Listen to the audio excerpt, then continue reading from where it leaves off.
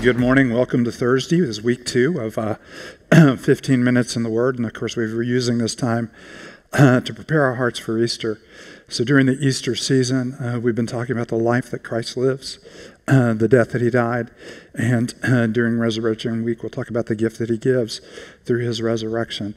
Uh, so this is uh, week two. We've been talking about the death he died, and, and just to remind you that these are more than just simply historical events uh, and even a phenomenal historical event in the resurrection, these events each have an impact on our life because he lived the life that we could never live. And through his obedience, we receive the righteousness of God. He died the death that we should have died, and his death is counted as a punishment for our sins so that our sins are forgiven through his death. And his resurrection uh, is the hope of new life that we have in him. So he was raised to life so that we might have new life. this week, as we're uh, covering the cross of Christ, we're coming to a very practical passage in Philippians chapter 2. Matter of fact, Paul is using big guns here. He's talking about, you know, people who are having a hard time agreeing within the fellowship.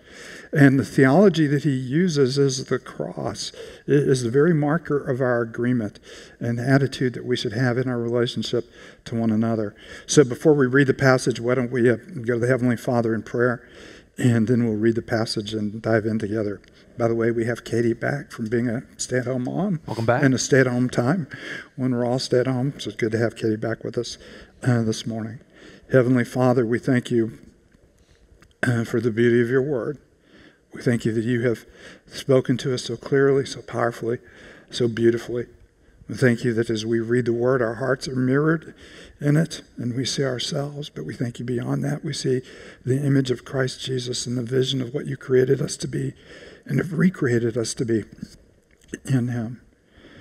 Father, as we read today, may you encourage us and comfort us, convict us, and give us hope. It's in your holy name we pray. Amen. Sorry for my voice. This is actually uh, after our Sunday morning service uh, that we're recording this, so I've already uh, kind of talked my voice out. Philippians chapter 2, uh, verse 1 through 11. Therefore, if you have any encouragement from being united in Christ, any comfort from his love, if any uh, common sharing in the Spirit, if any tenderness and compassion, then make my joy be complete by being like minded, having the same love, being one in spirit and of one mind. Do nothing out of selfish ambition or vain conceit. Rather, in humility, value others above yourselves, not looking to your own interest, but each of you to the interest of others.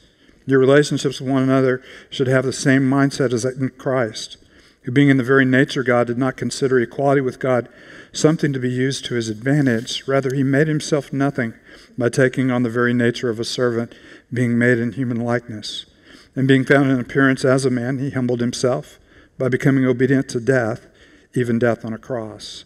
Therefore, God exalted him to the highest place, and he gave him the name that is above every name, that at the name of Jesus every knee should bow in heaven and on earth and under earth, and every tongue acknowledge that Jesus Christ is Lord to the glory of God the Father. We've been going through the rhythm in these uh, devotional times of looking at what the passage reveals about the heart of God in Christ Jesus. Uh, then we look at how the passage reflects who we are, what it reveals about us, our insecurities, our fears, uh, the things that, that we bring to life. And then, of course, we always want to look at a passage and how it calls us to respond to the invitation that Jesus has given us to know Him, walk him, with Him, to have, find our comfort in Him. So, guys, as you look at this passage from a high level, while I get a sip of coffee to recover my voice here, what are, what are some of the things? How are you seeing the heart of the Father reflected in the person of Jesus? I mean, the thing that grabbed me right from the start is, is in verse 7. He made himself nothing, taking on the very nature of a servant. And that being the sovereign God doing that, that sovereign God became a servant um, and took on that nature. And so that's just amazing to me. So even, obviously, as this passage is talking about humility, um, to see that level of humility, knowing that it's never been reached before. This is the greatest example of humility ever. Um, and that's very humbling, really. yeah, and, and, and, of course you're coming, you know, from verse six, uh, where it's talking about the uh, incarnate Christ uh, existing in the very nature of God, everything that God uh, God is, he, he was, And uh, he didn't think of it as something he had to hang on to. Uh, it's kind of a tricky little translation, you know, of the Greek there. Uh, it, it, has you know the idea of somebody just hanging on to something relentlessly and they uh, they won't let go. Maybe you've seen you know kids fight over a toy where they're each you know kind of pulling it in one direction, uh, or maybe you've seen adults fight over something. But anyway, even more simple and less profound. When we have rights, we we hang on to them. He he let go of them in order you know to be a servant. And this is how he saw himself. You know, he says the Son of Man did not come to be served, but to serve and give his life as a ransom for many. So this isn't just something where you know Paul is reflecting on it later and and you know changing course and saying, "Oh, let me show you how humble Jesus is." This is how Jesus saw himself as well as a servant. Yeah, which is absolutely, and, of course what he portrayed in the upper room in the night before his crucifixion, uh, where uh, all the disciples came in, and of course uh, the least among the disciples should have washed the feet of all the other disciples. Uh, but they're arguing about who will be the greatest in the kingdom of heaven. And the greatest in the kingdom of heaven took off his outer clothes. He wrapped a cloth around his waist. He poured a basin of water. And, and he washed the, their feet. And John has this beautiful picture, the way that he frames that. Having loved his own in this world, he now showed them the full extent of his love. He, he washed their dirty feet, and then he went to the cross and he died for them.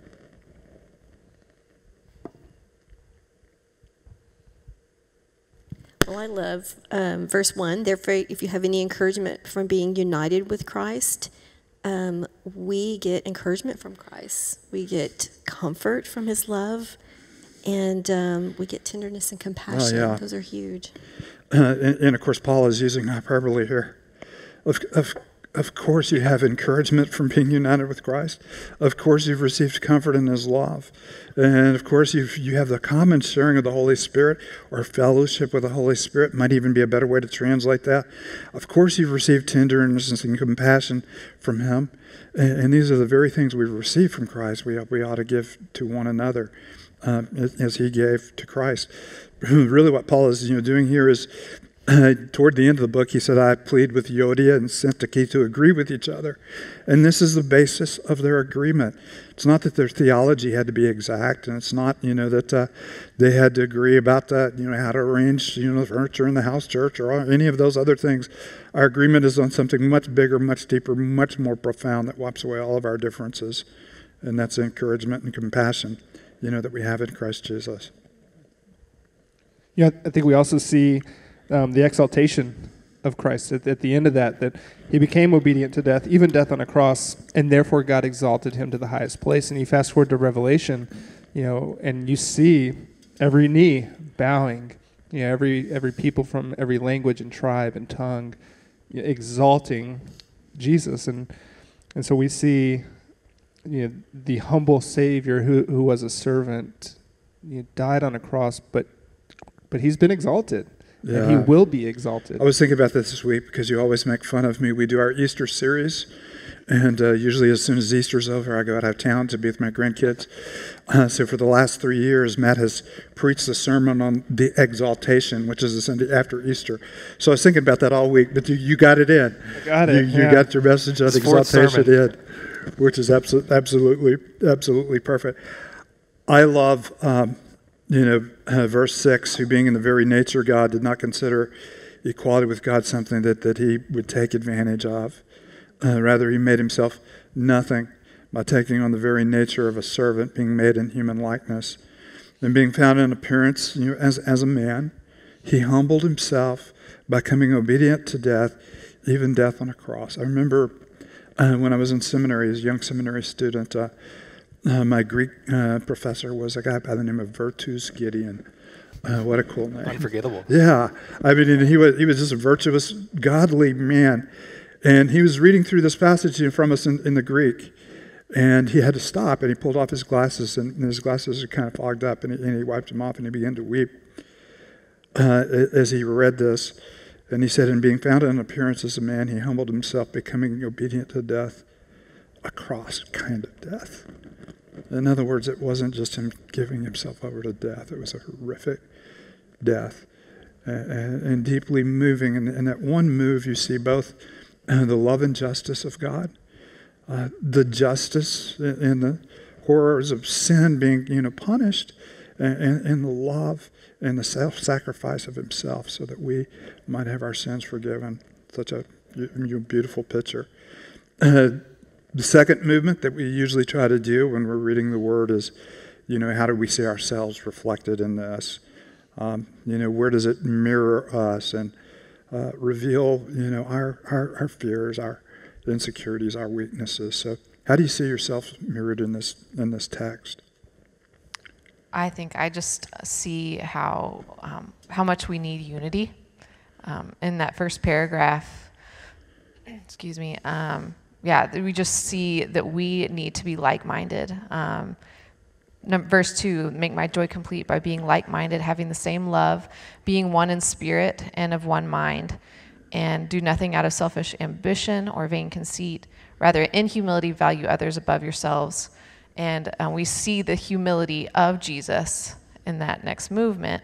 And, and as we read it, I'm just thinking about how his humility and sacrifice has united us with God, and how our humility can unite us with with those around us um, in His power. And I just think in this time where we're at right now, um, where you know people are hoarding supplies and um, people are trying to just take care of myself, we're also seeing others humbling themselves and and offering what they have to those around them, and we're seeing the power of that. And I think, I mean, the humility that we see in Christ, hopefully we can see him working that out in us. And that affects how we handle this whole situation how we care for those around us in this situation and uh, it's just really encouraging to me. Yeah.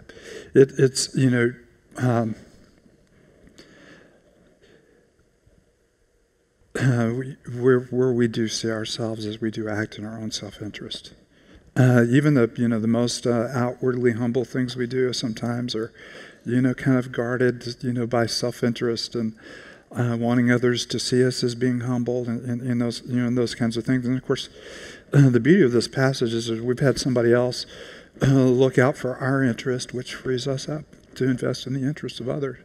Uh, we're secure because he has, he is the one looking out for us, and he has called us uh, to do the same, you know, uh, for others.